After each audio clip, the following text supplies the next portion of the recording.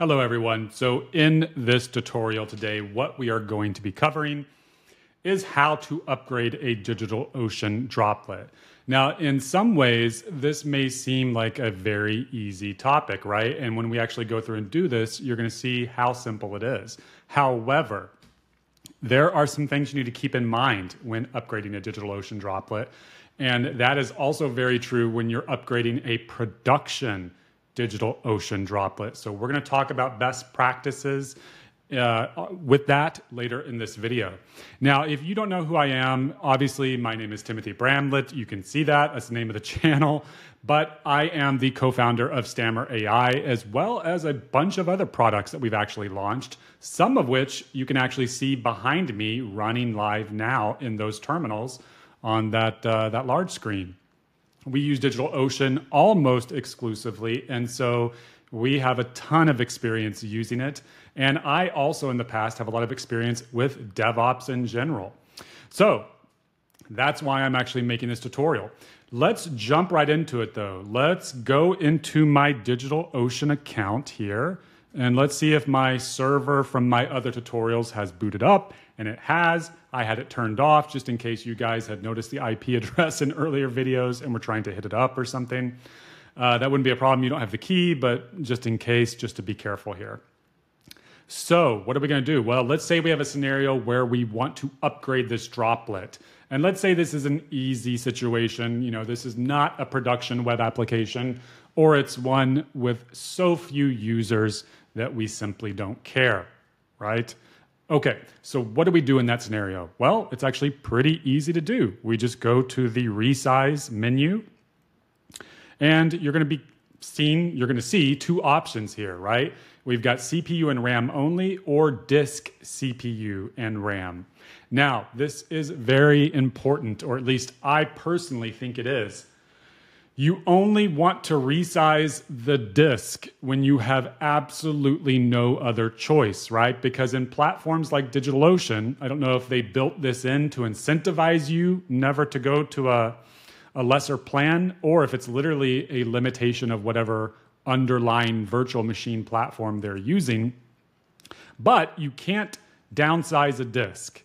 There's no easy way to do it. And so far, I haven't found a reliable way to do it yet. I suppose you could create a new machine and then use rsync or whatever to rsync files over, but that's obviously not going to be easy. You're going to spe- specifically specify which. I don't believe you can rsync an entire server. At least I've never attempted to, to successfully do it. So anyway, the point is, do not increase the size of the disk unless you have to. Okay, and in a moment, I will talk about what you need to do when it's a production web application. But we're going to only increase the CPU and the RAM for this. Okay, so we've got CPU and RAM selected.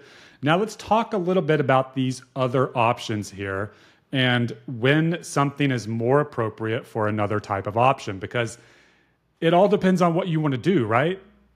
Okay, and the first option you're going to see here is for a shared CPU. These are all their basic DigitalOcean droplets, and all these CPUs are shared among other instances. Now, as far as I know, and I don't understand fully their execution characteristics because I don't have access to that data, but as far as I know, that means that if someone else's VM starts spiking a lot of activity on that CPU, it could affect your machine and it may not get as many compute cycles as it would if it was on a dedicated CPU. So that's something important to keep uh, mind of. If you've got a production web application that you know is compute sensitive as far as the operations you're doing, you need compute time. You may need to go with something that, that's general purpose in DigitalOcean is what they call it, and that reserves for you a dedicated CPU that is never accessed by another VM of someone else's account. So then you've got, you know, variations of those dedicated CPU machines. Okay, we've got CPU optimized. They've done something there to where the CPUs, you get more CPUs for, uh, you know, a lesser price compared to the other machines, right? And you can see here that you can get four dedicated virtual CPUs for something like $84 a month, and that's really not bad. Now, you've also got memory optimized. And so this all depends on the execution characteristics of your application, right? As an example, um, Notifier.so, a product of ours that we launched, you know, a few years ago, it's very compute heavy, right? Not as much memory heavy. We're not loading a massive amount of data into memory with uh, Notifier. In fact, it's reading everything in real time and then it tends to keep some and then get rid of all the rest of the data, right? We're not it's not even disk heavy. It's it's literally just CPU heavy. And so for that type of project, I would want to go with something that's CPU optimized, possibly. Um, now, an example of a memory heavy application is actually our current platform that we're focused on primarily, which is Stammer AI. And we have to load a lot of data in memory for our knowledge base because in order to search that knowledge base very, very quickly, it needs to be in memory. And then we search it and we do a um, we do a semantic search using the data that's stored in memory. And so that has to be very fast. That's a memory heavy uh, use case there. So that's a situation where we actually do have a memory optimized machine for Stammer, at least that part of Stammer. Stammer now has you know a more complex architecture, so it's it's in memory database is actually a separate instance right now. Okay, and now the final variation here is the storage optimized uh, droplets, and it's just like they sound, right? You get a larger amount of disk space. And I haven't, we don't have an application. Well, one time Notifier was storing all of its data that we were getting from the various platforms, and we were actually well, we were storing those in S3 actually, so it's not quite the same thing. But I think you get the idea. If you're storing a lot of data for whatever reason on your VM's hard disk, which I would say you should try to avoid that, to be honest, you might want to use an attached volume instead of just storing it on the one volume that's the main dedicated volume for that instance. But anyway, if you have that type of use case where you're storing a lot of data on disk, this is where this would be appropriate. So keep those things in mind.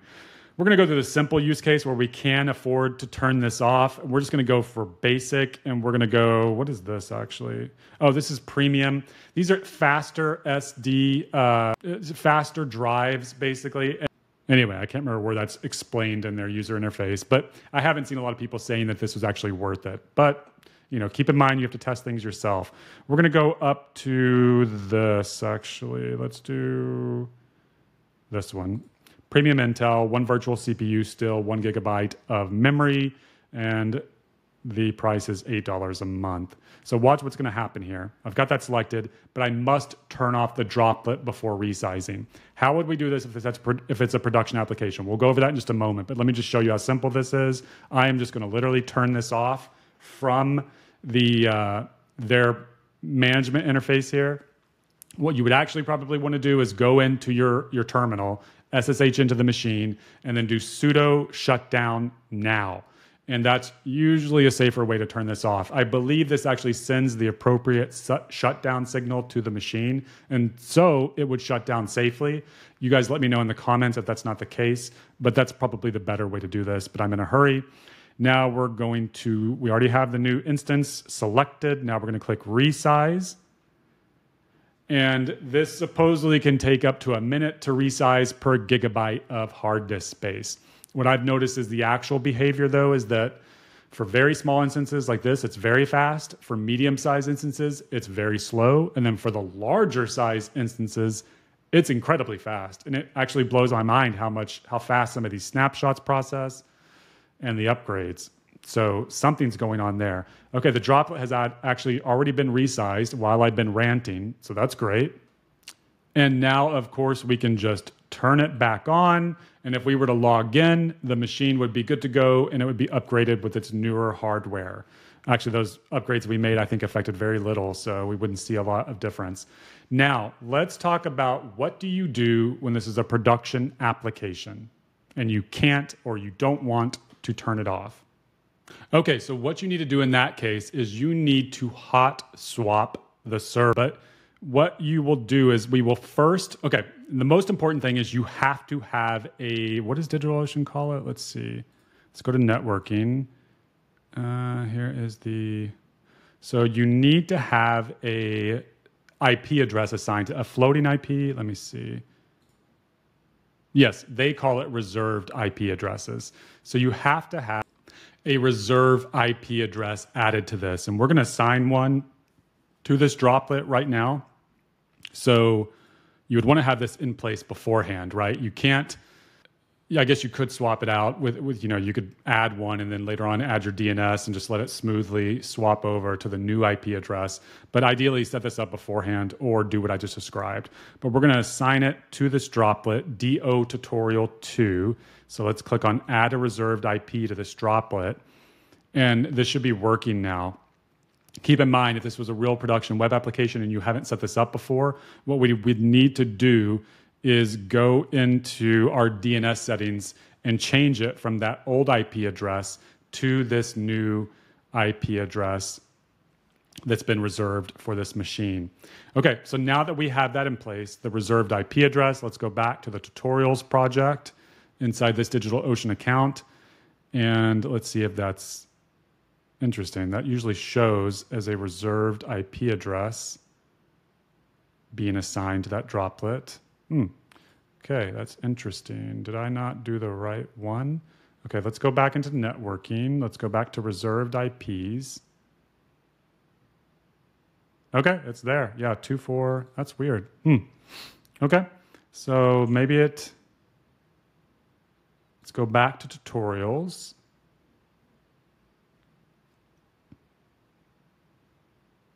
Yeah, that's strange. Hmm, that is very strange. I'm not sure why that is doing that. There we go. Okay, good. So it's showing up here, but usually it actually shows up just on the main listing. Hmm. Okay, but anyway, that reserved IP address has been assigned, and now let's do what we what I'm calling the hot swap. So what we need to do actually is go to this droplet here. This is the one that we want to upgrade, right, to resize again. We're going to take a live snapshot of it. And let me pause the video while I wait for this snapshot to complete.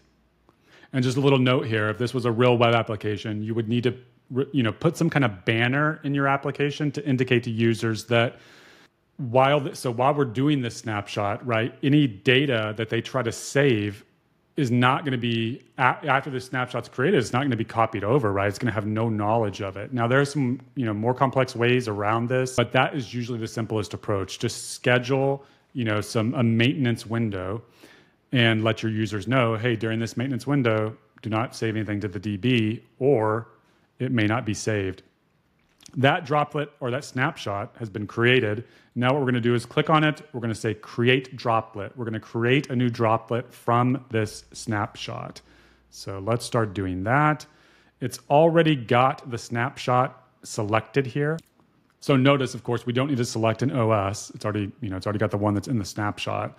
Um, here's where we're going to select something. We're going to choose this one with uh, four gigabytes.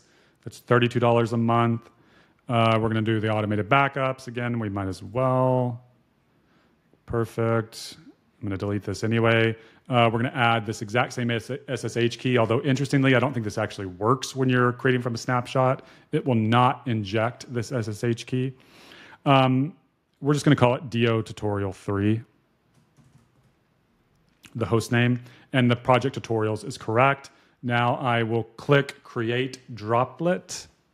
Usually it shows up right away, or you see like a progress bar. Weird. Maybe they're having some issues today. Okay, and so who knows? There must be something weird going on with uh, DigitalOcean because these were usually these show up and you can see them in progress kind of being created. But this time that didn't happen. And now, as you can see, I've got six of these in here. But I can go ahead and show you what we would do next. So the next thing you would do is just literally once you verify that this machine is ready to go, this new production machine that's been upgraded, you could just swap out this uh, reserved IP here. So we can go into this. I believe we can access the reserved IP address from here. View all. And then we will see them in here. And we can just go to this one. This is the one. And instead, we can do reassign and we will assign it to DO tutorial 6, re- reassign reserved IP, and then we are good to go. So the users would notice almost nothing, right? Or they would notice nothing actually, except that if they'd saved anything during the time between when the snapshot was being created and this new machine launched and switched over, none of those changes would be saved. So you need to alert your users beforehand before you attempt to do this. So this is an easy way to kind of do this. Upgrade, upgrade a droplet without any kind of real downtime. So that should be it for this tutorial. Now I'm going to go and delete these, you know, other machines that I've created by accident. You guys let me know in the comments if you have any questions on this or if you know a better approach to doing these kinds of things. Thank you so much and have a great day.